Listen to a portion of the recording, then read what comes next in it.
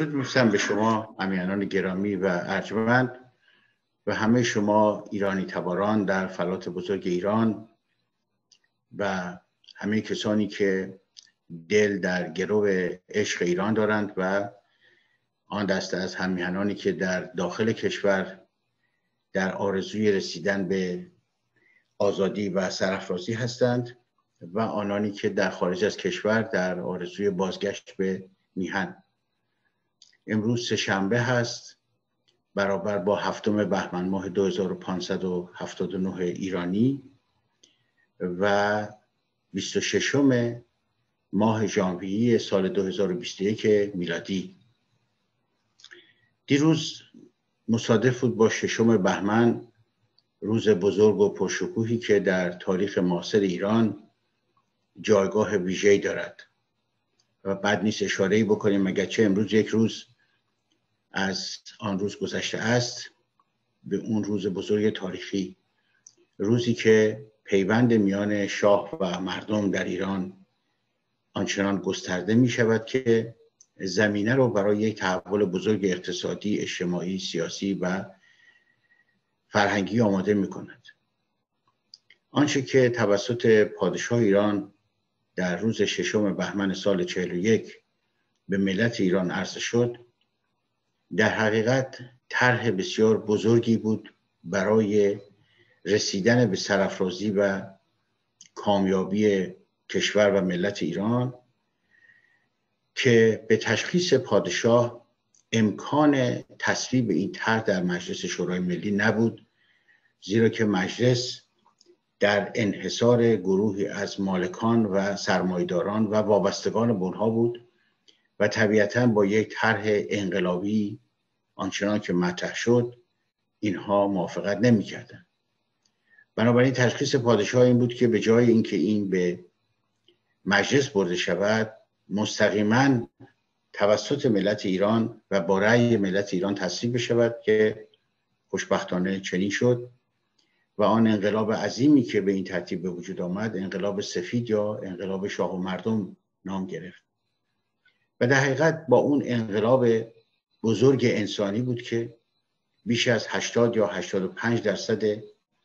مردمان مملکت ما که در روستاها زندگی می‌کردند و به عنوان رعیت محسوب می‌شدند و در حقیقت اینها بردگان اربابان و فودالها و زمیندارها بودند توانستند به آزادی برسند و نقش انسانی و ایرانی خودشون رو بتوانند در جامعه ایفا بکنند و این تحول بسیار بزرگی بود. زنان ایران که پنجاه درصد جامعه کشور یا شاید پنجاه یک درصد رو تشکیل می‌دادند محروم بودند از حقوق سیاسی و به این ترتیب با همین اصولی که مطرح شد در انقلاب سفید اینها به حقوق برابر با مردان رسیدند. علاوه بر اصلاحات ارزی مسئله دیگر سهیم کردن کارگران بود در سود کارخانه ها و سپس فروش سهام کارخانه های دولتی به منظور پشتوانه اصلاحات ارزی و به این ترتیب سرمایه هایی که در زمین محصول شده بود مسدود شده بود وارد بخش تولیدی شد. کارخانه های متعدد شروع به کار کردن. صنایع کشور به راه افتاد. و با یک روش مدیریت داهیانه و یک تدبیر بزرگ زمین چینی شده بود که همه مقدمات برای یک جهش اقتصادی در مملکت فراهم بشود در کنار یک جهش صنعتی. از یک سو نیروی کاری که در شهرها لازم بود به وجود بیاید با مهاجرت روستاییان از روستاها به شهرها امکان پذیر می‌شد. و اینها ابتدا به صورت کارگران ساده و بعد کارگران ماهر و تکنسین ها در بخشای مختلف صنایع کار می‌کردن. دانشکده های پلیتکنیک و انستیتوها و مؤسساتی که میبایستی برای صنایع نوپای ایران متخصص تربیت می‌کردن یکی پس از دیگری افتتاح می‌شد و همچنین صنایع مادر مانند زباهن و صنایع فولاد در خدمت مابقی صنایع کشور قرار گرفته بود تا بشود با یک زیربنای درست صنعتی به سوی صنعتی شدن و در نهایت به سوی تمدن بزرگ کشور پیشرفت کنند نتیجه آنچه که در سال 1341 رخ داد در قالب انقلاب سفید شاه و مردم آن چیزی بود که در سال 57 شاهد بودیم که ایران یکی از مقتدرترین کشورهای جهان بود. به لحاظ نظامی ما کشور بسیار مقتدری بودیم بسیار پیشرفته بودیم. به لحاظ اقتصادی رشد اقتصادی دو رقمی داشتیم و رفاه ملی پیدا شده بود و دولت کوشش می‌کرد که انواع امکانات رو برای ملت فراهم بکند از تحصیل رایگان تا بهداشت و درمان رایگان و بسیاری مؤسسات خیریه و نیکوکاری در مملکت ایجاد شده بود که زیر نظر والا حضرت اشرف پهلوی و یا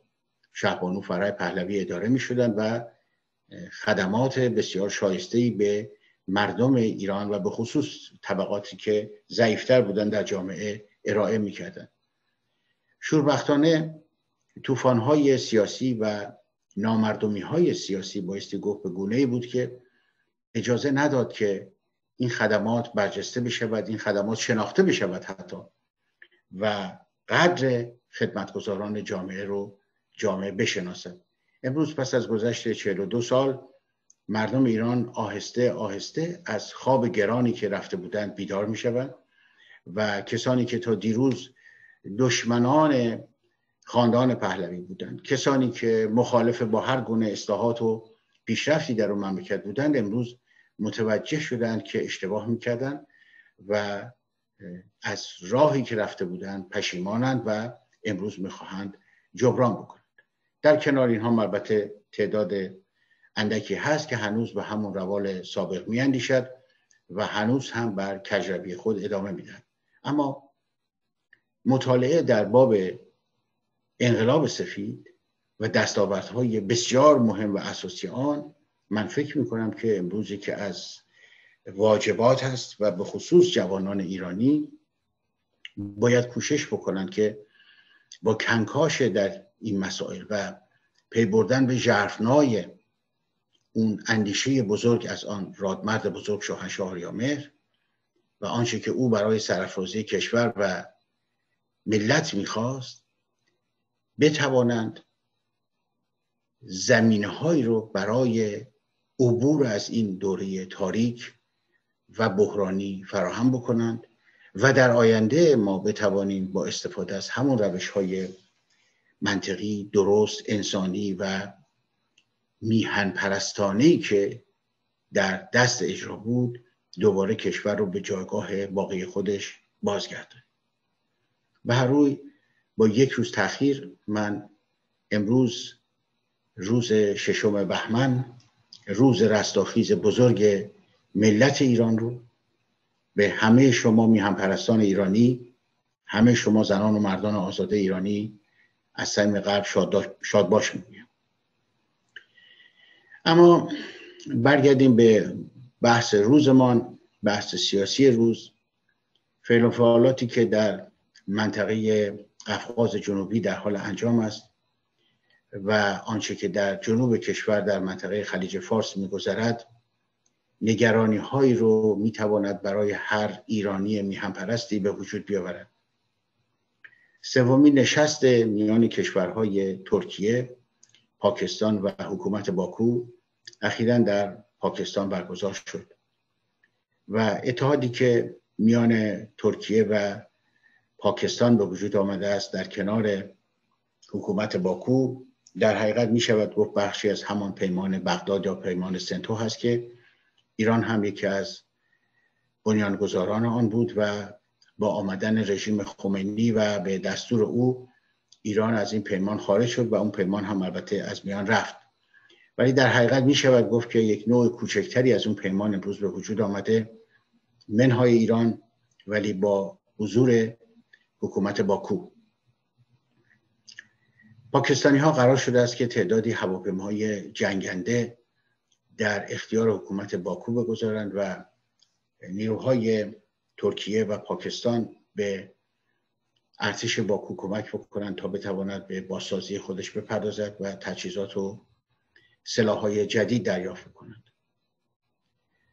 و در همین حال که این اتفاقات در جریان است می‌بینیم که در کنار اون مسائل دیگری در خود ترکیه مطرح می شود که به علیه مصالح ملی کشور ما هست و پانهای مصنوعی دستساز احزاب ترکی در حقیقت دارند کوشش می‌کنند به ایجاد اختلافات قومی در منطقه و خود این مسئله می‌تواند خطر بالقوه برای کشور ما باشد با توجه به اینکه در مناقشه که در ناگورنو قرباغ یا قرباغ کوهستانی رخ داد در قفقاز جنوبی ما به چشم ناتوانی جمهوری اسلامی یا در حقیقت فرقه تبهکار حاکم بر ایران رو دیدیم. علا رقم عربد کشی های پاسدارهای ریز و درشت و رجزخانی های رهبر بیکفایت رژیم دیدیم که اینها در شرایطی نیستن نه مورد حمایت ملت هستند در داخل و نه به لحاظ مالی امکاناتی دارند به علت تحریم ها و در جایگاهی نیستند که بتوانند از منافع ایران در منطقه دفاع بکنند و روسیه پس از سالها دوباره توانست به قسمت قفقاز جنوبی بازگردد و با استقرار پنج هزار نیروی تفنگدار در قالب نیروی صلح حضور خودش رو در قفقاز جنوبی دوباره ابراز بکنند و اگرچه ارمنستان بازنده این ماجرا بازنده واقعی بود اما بعد از ارمنستان هم ما بودیم که باختیم و دو برنده روسیه و ترکیه در نهایت باقی ماندن. اگرچه که آذربایجان هم احساس کرد که برنده این ماجراست در حالی که چنین چیزی نبود. به هر روی آنچه که در مرزهای شمالی ما میگذرد بسیار نگران کننده است. سفری که اخیرا ظریف داشت به مسکو و ملاقات او با وزیر خارجه روسیه و ابراز نظری که او کرده است که ماجرایی که در قرباخ پیش آمد منجر به یک صلح و دوستی جدیدی شده است در حقیقت نشان از این دارد که او به مسائل یا بیتوجه هست و یا با همان شیادی مخصوصی که حکومت جمهوری اسلامی و رهبر اون رئیس جمهور و وزیر خارجه و دیگران دارند کوشش می‌کند که افکار عمومی رو به بیراهه ببرد. زیرا آنچه که در منطقه اتفاق افتاد هیچ کدام به نفع ما نبود و ما هیچ گونه نفعی رو در این ماجرا ندیدیم و نخواهیم دید و همه به زیان ما بود. اما در این حال در جنوب کشور و در قالب آنچه که توافق ابراهیم نامیده می شود بنا هست که در ماه فوریه در اول اولین هفته فوریه نخست وزیر اسرائیل سفری به منطقه خلیج فارس داشته باشد و ملاقات هایی با سران منطقه به خصوص محمد بن سلمان ولیعهد عربستان. در این مورد گفتگوها و رایزنی هایی که میان سران کشورهای منطقه انجام می شود در حقیقت همه در جهت تقابل با ایران است. اگرچه این تقابل در شکل ظاهری تقابل با فرقه تبهکاری است که به نام رژیم جمهوری اسلامی بر ایران حاکم است. اما شرایطی که در نهایت به وجود می آید بر علیه منافع ملی مصالح ما و امنیت ملی ما هست. و هر چقدر که روز به روز از عمر ننگین این فرقه تبهکار میگذرد ما می‌بینیم که دستیسه ها و ترفندهای جدیدی به علیه ایران شکل می‌گیرد اتحادیه های جدیدی به وجود میآید. و همه اینها در دراز مدت به زیان کشور ما به زیان استقلال و امنیت ما هست. و شوربختانه که نه رژیم این توانمندی رو دارد که جلوی مسائل رو بگیرد و نه در موقعیتی است که بتواند و نه اینکه اینها اساسا به ایران و ایرانی میاندیشند. آنچه که مطرح هست مسلحت نظام است و ماندگاری نظام به هر قیمتی که شده حتی اگر ایران رو به دیگر کشورها واگذار بکنند در همین حال گفتگوهایی که سری میان بشار اسد و رهبران اسرائیل انجام شده است در سوریه و این کار این گفتگوها با چراغ سبز مسکو انجام شده است و به همین جهت است که ظریف برای این گفتگوها سفر کرده است به مسکو. نشان می‌دهد که مسکو راه خودش رو در سوریه از رژیم جمهوری اسلامی جدا کرده و رسما پوتین و سخنگوی کرملین و همچنین وزیر خارجه و معاون وزارت خارجه اعلام کردند که اجازه نخواهند داد که خاک سوریه مورد سوء استفاده دیگران قرار بگیرد به علیه استقلال اسرائیل. بنابراین گفتگوهایی که در سوریه در حال انجام است و در نهایت منجر به اخراج نیروهای حزب الله و سپاه قدس و وابستگان آنها از سوریه خواهد شد یک گام بزرگ دیگری است برای پس زدن این فرقه تبهکار از خاور میانه. لذا میلیاردها دلار ثروت ایران که به این ترتیب در سوریه خرج شد در لبنان برای حزب الله هزینه شد به جهاد اسلامی فلسطین داده شد به فاطمیون و زینبیون در منطقه داده شد به جهاد شعب پوزش می‌خوام هشت شعبی و النجبا داده شد و بسیاری هزینه های دیگری که انجام شده است از پول های نقدی که دادن تا سلاح هایی که ارسال کردن. تا جان ایرانیانی که در منطقه گرفته شد همه پوچ است و از میان میره نتیجه که می‌توانیم بگیریم از این سخنان به اضافه گرفتاری های دیگری که در مرزهای شرقی و همچنین در مرزهای غربی ما داریم حکایت از این می‌کند که رژیم جمهوری اسلامی با وضعیتی که دارد با قانون اساسی که دارد با ایدئولوژی که دارد در قالب ولایت مطلقه فقیه در حقیقت یک نوع رژیم ناکارآمدی است که اساس ایدئولوژی اون برمیگردد به هزاران سال پیش و هیچ گونه کارایی با زندگی امروز ایرانی و زندگی امروز جامعه بشری ندارد. به خصوص که وقتی که در رأس اون یک آخوندی قرار می‌گیرد که به هیچ وجه با علوم مدرن آشنایی ندارد به هیچ وجه دارای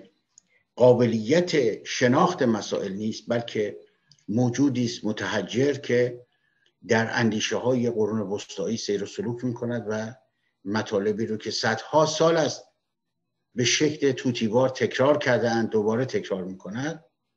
و نتیجه این نوع حکومت چیزی جز خرافه پرستی وقتی که نگاه می‌کنید به این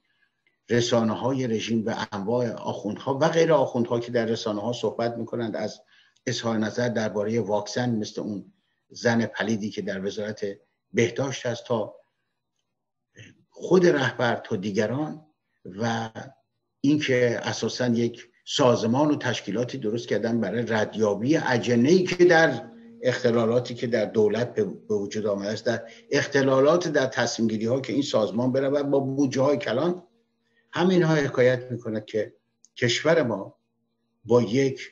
ساختار حکومتی مواجه است که این ساختار حکومتی مربوط به چند هزار سال پیش است. و در نهایت چون این حکومت بر ایران غالب شده و اعمال حاکمیت می کند کشور ما هم به سرعت می رود تا به یک سرزمینی برسد با مردمانی که در چند هزار سال پیش در قرن 21 دارن زندگی می بنابراین به تعبیر بسیار ساده تر می توانم بگویم که این یک فاجعه بزرگ ملی است. فاجعه است که بی توجهی به اصول مقررات علم دانش منطق مملکت رو به بیراهی برده است که نتیجهش فرار محسا هست که خصوص در این چند ماه گذشته شدت بیشتری پیدا کرده. توهی شدن مملکت از وجود انسانهای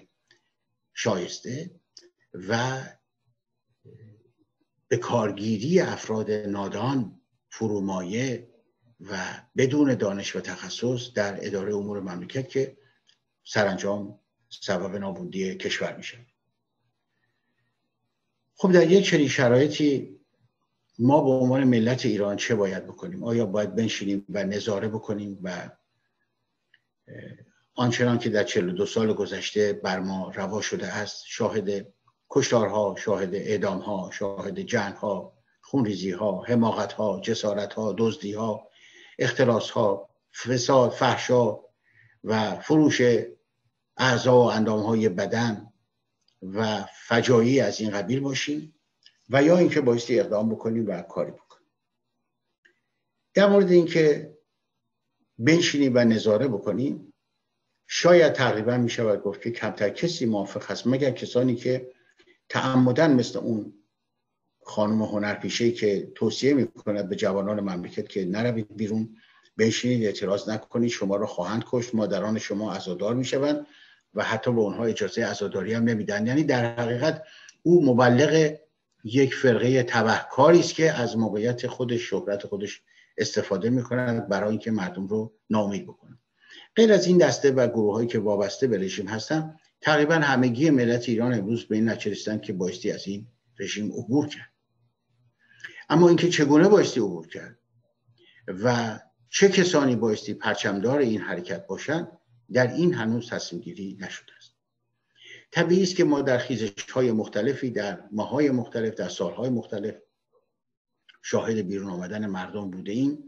و این مردم از چند صد تن تا چند صد هزار بیرون آمدن تظاهرات کردند که البته بیشتر این اعتراض ها و تظاهرات یا سنفی بوده است یا به دلایل خاص و محدودی بوده است که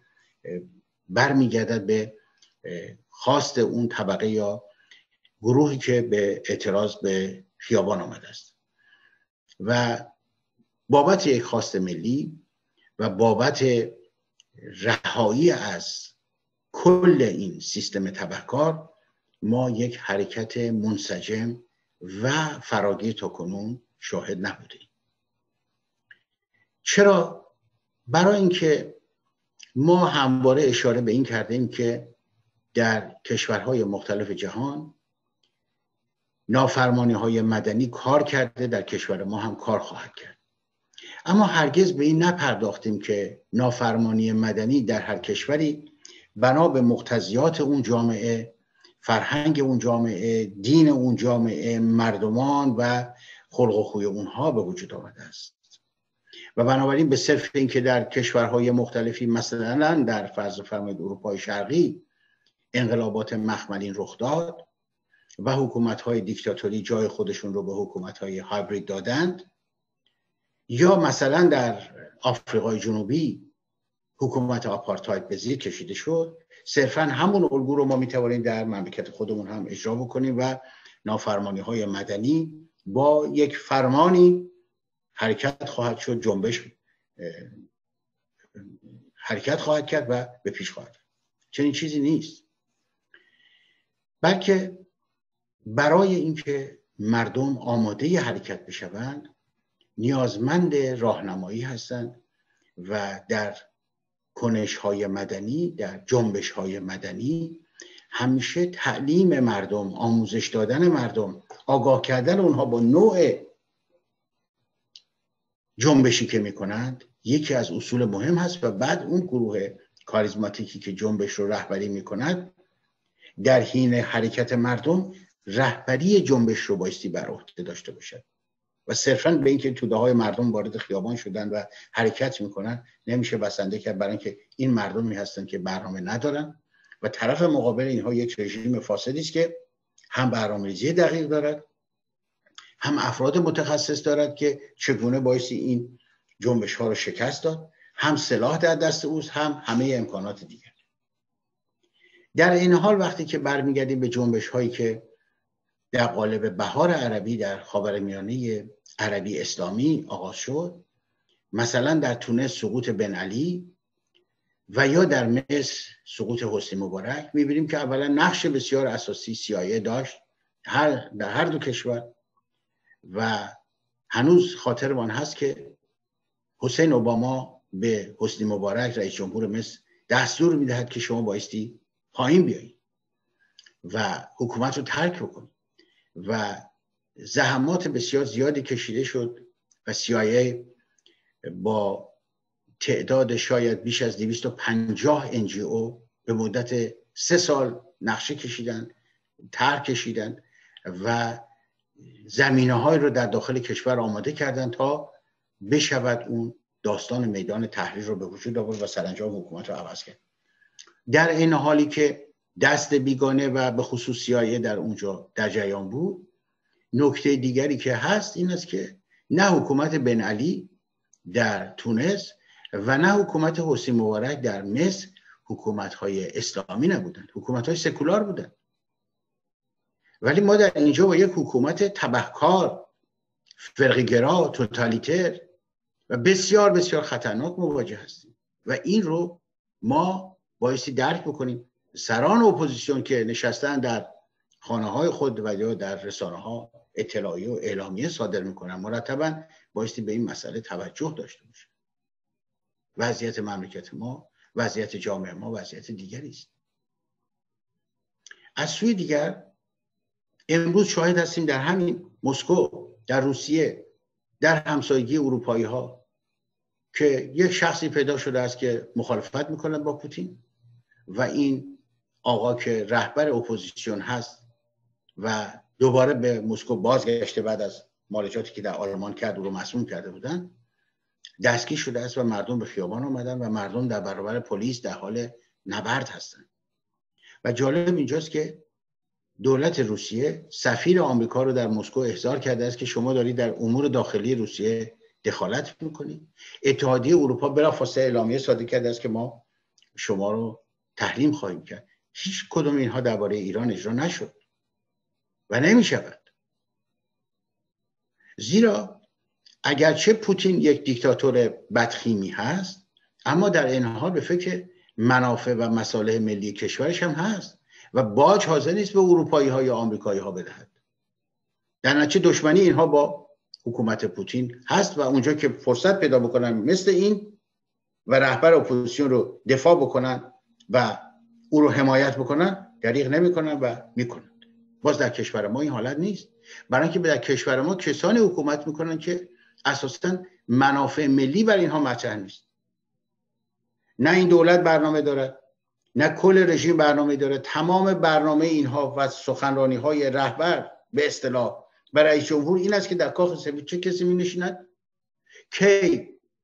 تحریم ها برداشته میشه؟ پولی به اینها داده میشه لفتولیس و دزدی های اینها برقرار بشود سرکوب های اینها برقرار بشود و مازاد این پول رو هم بدن به حزب الله و هشت شعبی و النجباب و جهاد اسلامی فلسطین و فاطمیون و زینبیون و بسیاری از این سازمان های تروریستی دیگر. اینها به فکر مسائل مملکت نیستن. برای اینکه خودشون رو نگه دارن باج به همه میدن به پوتین میدن به پایگاه میدن. خلیج فارس رو در اختیار چین می‌گذارن. معادن طلا رو به انگلیس ها واگذار می‌کنن. در صنایع دیگر کشور در اتومبیل سازی به فرانسوی ها انواع تسهیلات رو واگذار می‌کنن و اینها کوشش می‌کنن برای ماندن خود. بنابراین وضع ما با روسیه هم فرق می‌کنه. پس ما در یک شرایطی هستیم که در این شرایط کاملا استثنایی و در یک برهه کاملا استثنایی از تاریخ داریم زندگی می‌کنیم. بعد از اینکه شاهزاده پیام آخر خودش رو درباره پیمان نوین فرستاد شاهد بودیم که تحولی پیدا شد. در داخل مملکت استقبال بسیار خوبی شد. حتی از جامعه روحانیت کسانی که با رژیم نیستن اونها اعلام همبستگی کردن. نظامی ها اعلام همبستگی کردن. در خارج از کشور هم جز حزب منحط فرومایه توده تقریبا بقیه موافقت کردن و حاضر به همکاری شدن. و به این ترتیب گفتگوهایی که سالها بود میان برخی از این آقایان در سازمان های مختلف انجام می‌شد و به نتیجه نمی‌رسید دوباره مومنتوم گرفت و آغاز شد. پس از چندی متوجه شدیم که باز گفتگوها در همان مسیری رفت که پیش از این هم می‌رفت. و در حقیقت بایستی بگویم که حداقل به من ثابت شد که ما توانمندی این که دور هم بنشینیم بتوانیم با هم یکی بشویم بتوانیم طرح و برنامه برای نجات کشور ارائه بدهیم. نیست. این درمان نیست. چون برخلاف ادعاهایی که ما می‌کنیم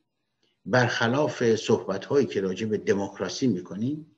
برخلاف آنچه که نشان می‌دهیم که ما انسان های بسیار دموکراتی هستیم اما افکار و اندیشه های ما افکار قبیله است. افکار مدرن نیست. در یک اندیشه قبیله ای زد و خورد و اختلاف میان اعضای قبیله تا زمانی هست که رئیس قبیله اعلام سکوت بکند و یا اعلام بکنند که همگی در جای خودشون بشینند و دخالتی در هیچ ماجرایی نکنند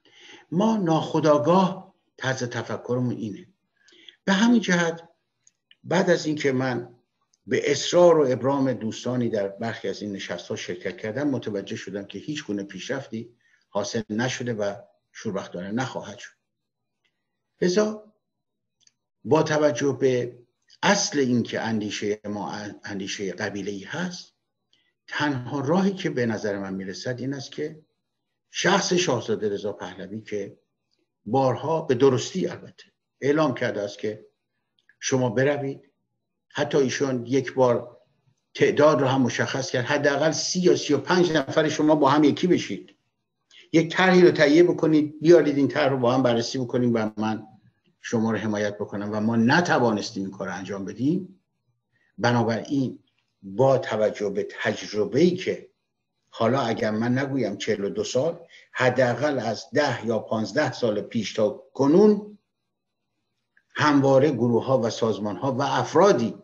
تلاش کردن برای ایجاد این اتحاد و نزدیکی و پیدایش این حالت و نشده است. از سوی دیگر مملکت در حال از دست رفتنه. اونطور که در مقدمه ارز کردم در شمال کشور در جنوب کشور در شرق و غرب ما فقر فضاینده و گرفتاری های بسیاری که وجود دارد و اختلافاتی که درون خود به اصطلاح نظام وجود دارد با مرگ علی خامنه ای می شود اتفاقات غیر مترقبه رخ بدهد و ممکن است یک سقوط یکباره این رژیم رو شاهد بشویم. بنابراین در یک چنین شرایط بسیار بسیار بحرانی حساس و خطرناک لازم است که کار جدیدی انجام بشود. و آن کار جدید این است که زمانی که ما بارها بارها کوشش کردیم که خودمان کاری بکنیم و خود ما باشیم که گرداننده این حرکت و این جنبش ملی بشویم و نتوانستیم بنابراین امروز لازم است که یک نفر به عنوان فرمانروا به عنوان رهبر یا هر عنوان دیگری که او می‌خواهد خودش رو بنامد پا در میدان بگذارد و رسما اعلام بکند که من هستم و من پیشرو این حرکت هستم و شکی نیست که آن وقت است که افراد قبیله موقعیت خودشون رو خواهند شناخت و می‌دانند که دیگر جای عرض اندامی نیست و میلیون ها ایرانی مشتاق آزادی هم در داخل کشور به پا خواهند خواست و نتیجه آن حمایت نیروهای مسلح از مردم خواهد شد و سرانجام ریزش و فروپاشی فرقه تبهکار و پلید و کثیف جمهوری اسلامی. من فکر می‌کنم که زمان آن رسیده است که یک بازاندیشی کنیم یک دگراندیشی کنیم در رفتارمان در خواسته هایمان و در گفتارمان و امید است که با اتخاذ روش های جدید بتوانیم به سرمنزل مقصود برسیم. سپاس و پاینده ایران.